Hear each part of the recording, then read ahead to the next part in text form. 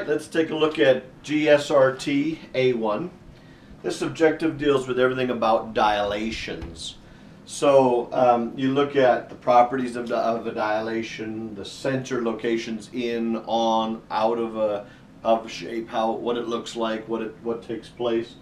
You look at the center and scale factors. Uh, when we scale by a value greater than one, we get bigger or an enlargement. When we scale by zero through through one, between zero and one, we do a reduction. We look at negative and positive values, and then we talk about the coordinate rules for dilation. Um, what's the big idea? Of course, we're now about to leave congruence behind and head towards similarity.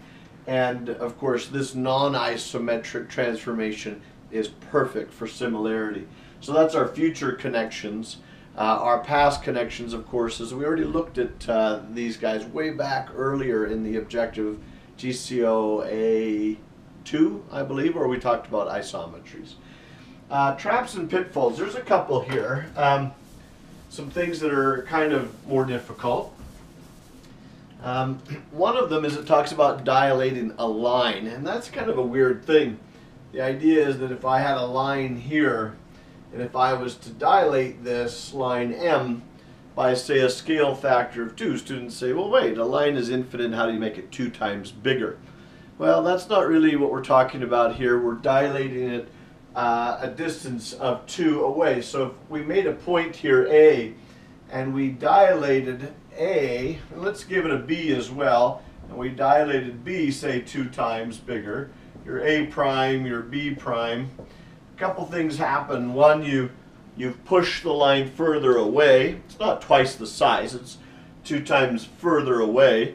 You get parallel lines, of course, dilations produce that. If you dilated this line by a half, you would be in this kind of range and location. A tricky idea.